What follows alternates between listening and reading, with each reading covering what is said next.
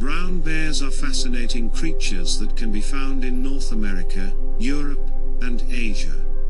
They are also known as grizzly bears and are one of the largest carnivorous mammals in the world.